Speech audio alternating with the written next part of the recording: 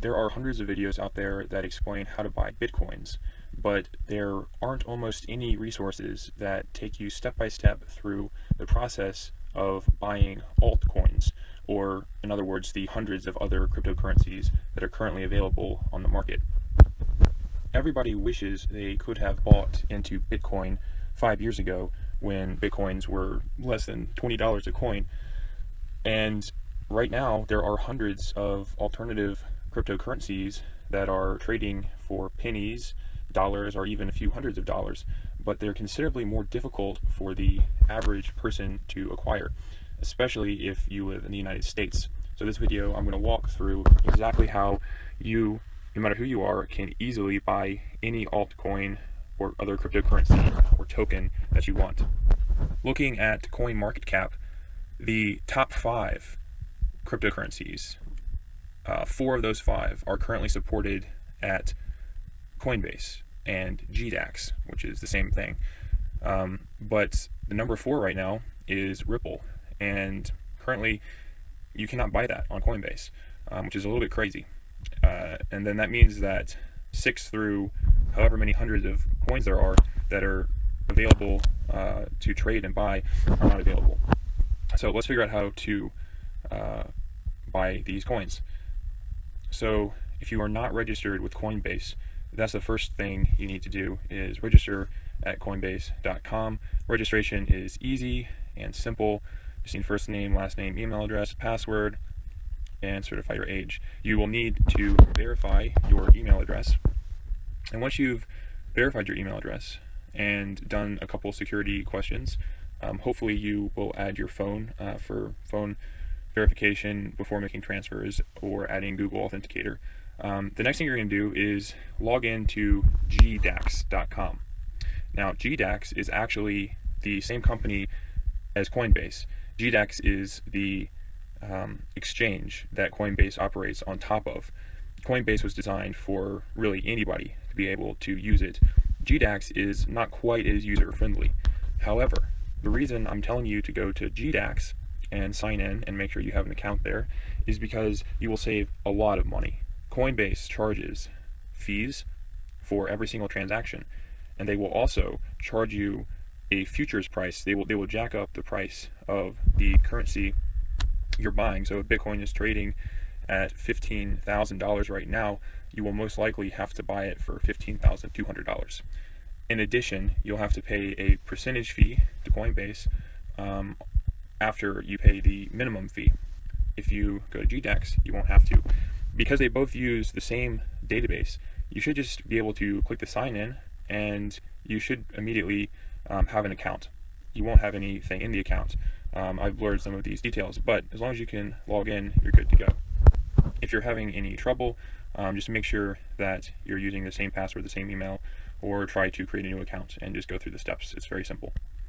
Next, you're going to go back to Coinbase you're going to click on the settings, you're going to click on linked accounts, and you're going to link a new account. It's a blue button. And you're basically going to add your bank account for AHC transfer. This will take four or more days. Um, you can pay for Bitcoins and Litecoins and Ethereum with a credit card, but the fee you will be charged is even higher.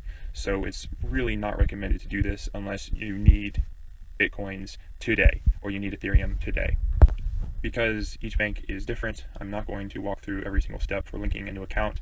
Hopefully you can figure it out. If not, you might want to call your bank. Next, you're going to go to the Accounts tab on Coinbase. You're going to scroll down to where you see USD Wallet. You're going to click on it, and you're going to click on uh, Deposit. The pop-up um, will show up then, and you're going to click on the bank deposit and you are going to select the bank account that you added. Um, keep in mind you might need to verify or you will need to verify that you you uh, that that is your account. So that might take um, a bit of time. Uh, and once you once that's all verified you will you know select the amount that you want to fund your Coinbase account with and you will hit continue. You can also uh, do a wire transfer and that will usually be a little bit quicker but you will also need to pay more. So once again, I don't advise you to do that. So at this point, we have not purchased any cryptocurrency. We've not purchased any Ethereum or Bitcoin or Litecoin. We've simply funded our Coinbase account. Why didn't I just tell you to buy Bitcoin or buy Ethereum? Um, well, the answer is there are no fees to deposit money into your USD wallet. Absolutely zero fees. They won't charge you a dime. So all you know, 100 or 500 or 1,000 of your dollars will go straight to your Coinbase account. Whereas if you were to buy Ethereum with your bank account, you would still be charged a much higher fee. So, just to reiterate, even if you're paying for Ethereum or Bitcoin or Litecoin with a AHC transfer, you're going to be charged a huge fee on Coinbase. If you decide you want to do a lot of cryptocurrency trading, this will add up to a sizable amount after a small number of transactions. So you're going to wait for a little bit of time, and when Coinbase lets you know that your funds have arrived, you're going to go to GDAX, not Coinbase, you're going to go back to GDAX. And on the main kind of homepage, once you're logged in, uh, I believe it's forward slash trade, you're going to look up at your balance in the top left hand corner and you're going to click deposit. There are several options. You're going to select Coinbase account and you will be able to send your funds directly from your Coinbase account to your GDAX account. There will be no fees and it will be instant. The same goes for any cryptocurrency that you have in your Coinbase account because in reality, they're not actually transferring accounts. It's really just moving it from one display to another since both of these websites use the same database. So it is possible to select a source being your Coinbase Bitcoin wallet, your Coinbase Ethereum wallet, or as we funded the USD wallet. You're going to select however much money or however many Bitcoins if you so happen to have Bitcoins in your Coinbase account, and you're going to click deposit funds. It's also possible to um, do it directly from a bank account, um, and you can also send money directly from a wallet uh, on your computer. But I'm assuming that you are a novice at cryptocurrency trading. Um, even if you're not, though, you, you can you can send Ethereum directly to your GDAX account from a wallet that you might have. With your new funds, you are going to look up at the main menu bar and select Ethereum slash USD. Or you can select Litecoin slash USD. At the moment, Bitcoin has enormous transfer fees that make it really unusable for sending small amounts. And by small, I mean under a thousand dollars. You're going to pay 15 or more in fees. So if your primary goal, which I'm assuming it is, is to buy a lesser known cryptocurrency, what we're going to be doing is buying Ethereum and transferring it to another account that you can't fund with a United States bank, but you can send Ethereum to it and then trade Ethereum for any currency that you want.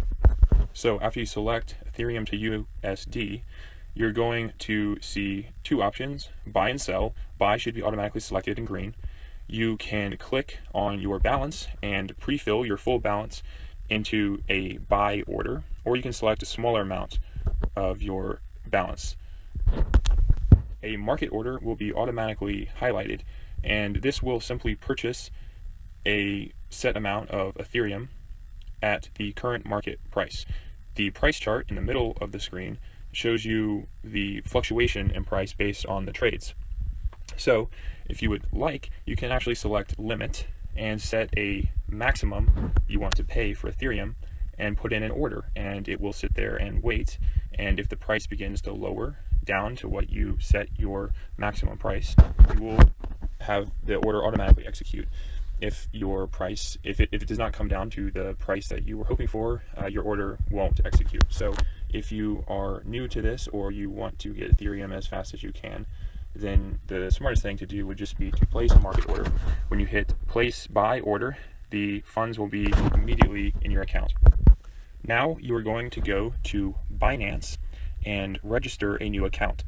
You can think of Binance sort of like GDAX, except it has support for all sorts of different cryptocurrencies that are being traded. You're going to click register a new account, fill in essentially the same details that you did on your Coinbase account, and click register. You will need to verify your email, and if you are smart, uh, if you if you want to be secure, you will also use a Google Authenticator um, setup. If you are from China, SMS messaging is also supported for security. I would highly recommend going through the steps to enable Google authentication. You just download it onto your phone and scan a barcode. And each time you go to log in from a new computer, you will need to pull out your phone and type in a new generated code. Once you've done this, you're going to find the little avatar on the top right hand corner and click on account. This will take you to your account page where you can see that right now your 24 hour withdrawal limit is two Bitcoins. So for almost every normal trader, this will be more than enough. If you are trying to trade, or if you're trying to withdraw more than two Bitcoins, you're withdrawing, uh, you know, around $30,000 give or take at the current going rate. Um, so that's quite a bit. Um, most people won't run into this problem. However, if you do need to withdraw more than that, you can simply submit verification documents and you will be upgraded in 24 hours or less uh, that's what it was for me. I can't guarantee that Binance will be that quick, but I was upgraded in, in less than a day from when I submitted my verification documents. And at that point, you'll be able to withdraw 100 Bitcoins from your account every single day. One of the reasons I am highly recommending Binance is because their fees are incredibly small. They're actually even smaller than GDAX, which is, like I said, considerably smaller than Coinbase. So this is really where you want to do all of your trading if possible. Next, you're going to click up on your avatar again, and you're going to click on the little button under your account, which will say um, your estimated account value. That will take you to a deposits and withdrawals page. In the little search box, you're going to type in ETH, which is the ticker symbol for Ethereum. Several will show up because ETH is um, in several different ticker symbols and names. You're going to want to select the black regu regular old Ethereum is the only one with a coin name ETH and the name uh, just Ethereum. There's Ethereum Classic and, and several others. Just ignore those. And you're going to click on the deposit box. Now what we're going to do is basically just, we're just going to send the Ethereum you purchased from GDAX over to the Binance account that you just created. An Ethereum address, an Ethereum deposit address will show up. You're just going to copy that address and you're going to go back over to your GDAX account. You're going to click on accounts and you'll see um, all four or five, uh, I believe it's five, yeah, all five of your accounts. You're going to select the Ethereum one and you're going to click the little up arrow. Um, it's highlighted on the screen. Uh, you're going to click that little arrow and you're going to withdraw funds. You are going to select ETH address, so Ethereum address, because you're not moving it back to your Coinbase account. You're going to paste in the destination address, and I'm assuming you want to spend all of the Ethereum you bought on your altcoin of choice. So I would click the little max button, and it will automatically put in the full amount of Ethereum that you purchased earlier. Most likely, I think it's even required now, you will put in a um, SMS code or some type of authentication code to confirm it's really you trying to withdraw the funds, and boom, they will be transferred over to your Binance account. It might take a little bit of time. So once you've hit submit, click on the little history hyperlink on the deposits and withdrawals page of Binance, and it will take you to incoming transactions, and you'll be able to watch as the Ethereum network confirms your transaction. After a short amount of time, uh, 30 minutes or less, sometimes 15 minutes, sometimes less, uh, you will see the available balance in your wallet on Binance is now credited with the amounts from GDAX. There is always going to be some type of network fee. This is not given to Binance or GDAX. This is the network fee that the Ethereum network uses to power secure transactions. So whatever that is will be subtracted. It is much, much, much less than Bitcoin. Um, so this, that, that is the smartest right now, uh, the smartest currency to send around. Next, you're going to go over to the exchange, and I'd highly recommend starting with the basic exchange. That's all you're really going to need. Click on basic, and it will take you to a page that looks a lot like the GDAX page. There's going to be lots of little numbers running around and tons of ticker symbols and lots of information that you can pretty much ignore if you are new to this. You're going to go over to the right, the top right hand box under the navigation bar, and this is where all of the exchanges are listed. On the far left side, you will see the current exchange that you are viewing. Right now, my screen is viewing the Ripple to Ethereum conversion, or the, the trade page for trading Ethereum and Ripple. So if you wanted Ripple, this would be the right page to be on. Binance also supports Bitcoin to altcoin trades. So if you select the BTC tab, uh, that will bring up all of the pairs that you can exchange. But since we use Ethereum, we want to make sure we've clicked that tab. Now, there's another little search bar, and you can use that to find the altcoin symbol you want to purchase. If you don't know the symbol and you just know the full coin name, you should just go over to Google and type in, you know, coin name and then the uh, full name of your coin, and, and you'll be able to find it on, on, on one of the many websites out there. In this example, I'm going to look up PO. I think that's how you say it. And as you can see, it's, it's the only one that's POE. I like to favorite all of the coins that I trade for quicker access. If you start the favorites tab to the left of the Bitcoin tab um, will now store PO to Ethereum. You need to click on this pair though for G for Binance to change to that exchange if you were not on it by default. So you will know you're on the correct exchange if the top left hand corner says POE slash ETH. For your ticker symbol or coin symbol, it will be, you know, whatever your symbol is slash ETH. The main thing to take note of on this page is the graph in the center.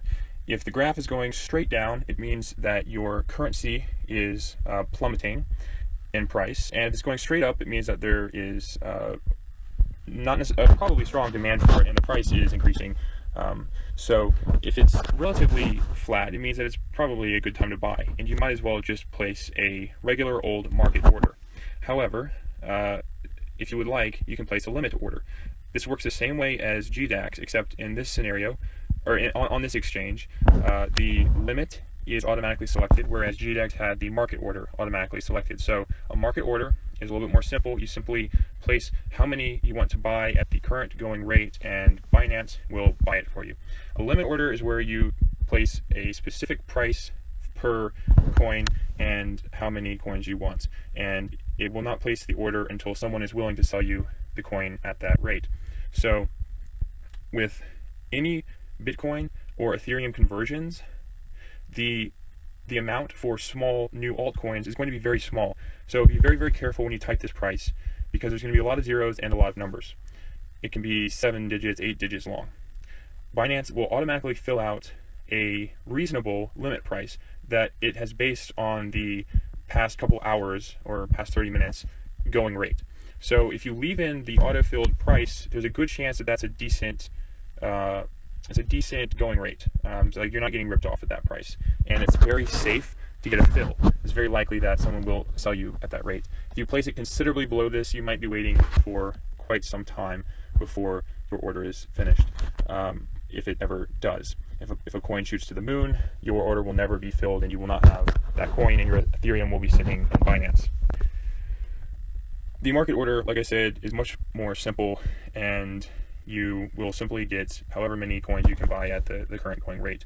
There's a nice little percentages box under here if you want to say spend 25% of your Ethereum on one coin, 25% on another, and 25% on another, or 50-50. Um, you can you can get a nice percentage autofill with that. So I'll fill out the 25 and the 50, uh, and as you can see, it's it's half of however many we can buy.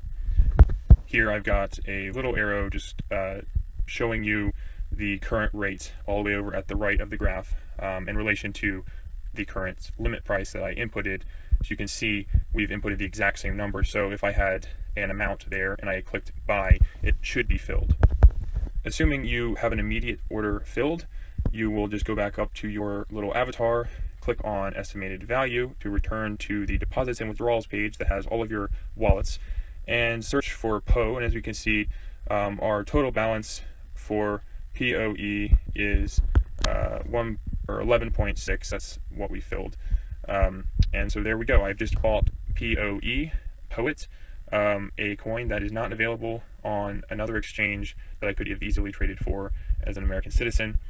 Uh, also, it's not worth trying to fund your Binance account with United States dollars. Um, your bank isn't going to like it, or your credit cards are going to decline it, or something bad is going to happen. Um, if you're thinking about looking at another exchange, I highly recommend Binance um, just because it's there's no verification required until you want more than two Bitcoin withdrawals. So, um, kind of hands off. Uh, I don't know that they've been hacked or anything recently, but you never want to leave a large amount of tokens or um, coins in your in any online exchange, Coinbase, GDAX, Binance, none of them. You always want to pull them to a secure wallet. But if you are trying to day trade or swing trade and want to immediately be able to buy and sell coins at the drop of a hat, and you're trading with less than a thousand dollars, it's usually worth it to just leave it in the Binance account. You also want to always do your own due diligence and look up the network fees for transferring coins uh, that you buy because if they're you know nothing right now is anything like Bitcoin, but you don't want to if you if you move your coins around too much, you'll start to lose coins based on the fees you're having to pay to relocate them. To withdraw coins from Binance, you just go over to the withdrawal. You will enter in the address of whatever cryptocurrency you purchased. Um, well, the, the address to the wallet that supports whatever cryptocurrency you purchased. And uh, that is it. You will just withdraw it. If you have any questions about uh, anything I've said, feel free to leave a comment below. If this video was helpful to you, give a little thumbs up just so I know I did something useful.